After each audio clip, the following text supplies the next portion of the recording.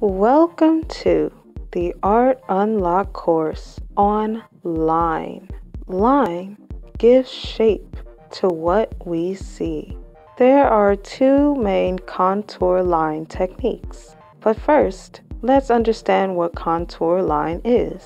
Contour line is a complete outline of an object as you see it. This means you follow the outline of an object as it appears, not as you think you should draw it. It's a very slow process, and it shows you just how much we depend on our imagination when we're doing artwork.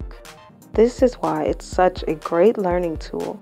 The first way to go about doing a contour line is the basic way, where you look between the object and the page. As you're slowly crawling along the edge of an object with your eyes, you look back and forth between the object and your page to make sure that you are following along at the proper proportions and angles.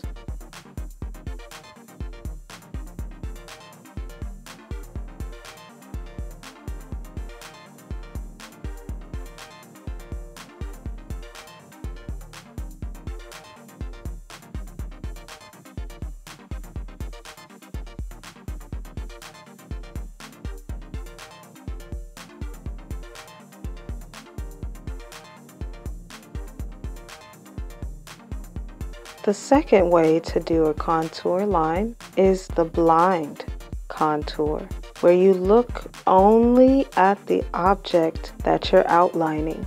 This one is a bit more challenging and can produce some really interesting results. In any contour line drawing, your pen, pencil, or marker never leaves the page. But adding on the challenge of not checking your work as you go and trusting your hand to follow along appropriately is a great way to enhance your object drawing skills.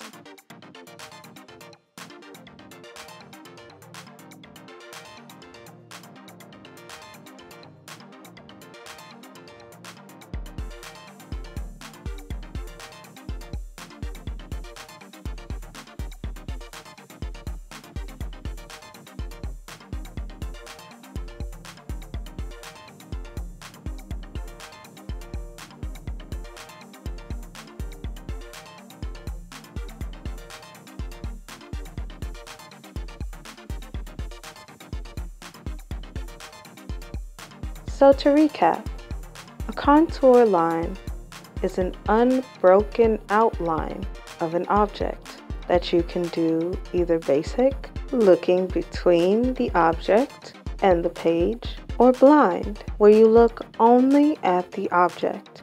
This is one of my favorite drawing activities and is a really great tool for learning how to draw objects accurately. Rewatch this video and try doing some contour line on your own. This is something that I highly recommend.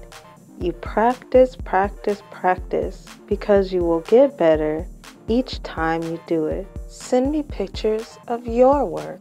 You can email me at creativesthatcare at gmail.com or tag me on Instagram at underscore I'm Anjulique. I look forward to seeing your work. And remember, you got this. The final lesson is next, and in that lesson, we'll be exploring texture and hatching.